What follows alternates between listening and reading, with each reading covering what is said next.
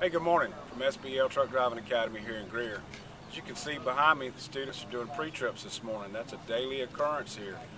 Most of the people that we meet tell us that's probably the hardest part about getting their CDL is learning all that.